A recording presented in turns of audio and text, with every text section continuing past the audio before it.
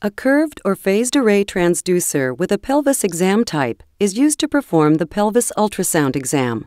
A full bladder is used as an acoustic window to view the pelvic organs.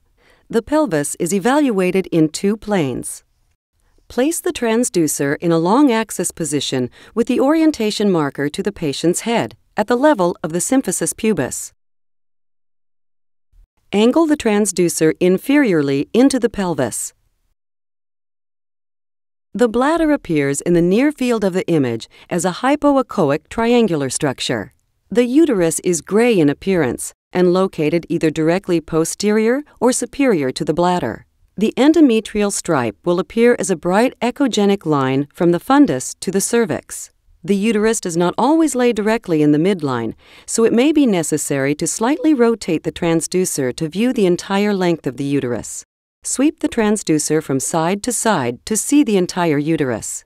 The ovaries may be seen by sweeping the transducer to the lateral aspects of the pelvis. They are almond shaped and slightly hypoechoic structures. Follicles may appear as multiple hypoechoic cystic structures within the ovaries. Some follicles may be quite prominent, depending upon the luteal stage.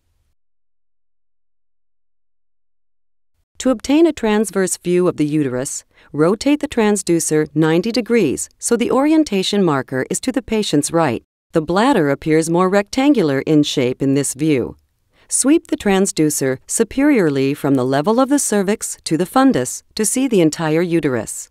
The ovaries will be seen on either side of the uterus and can vary in location from a superior to inferior position.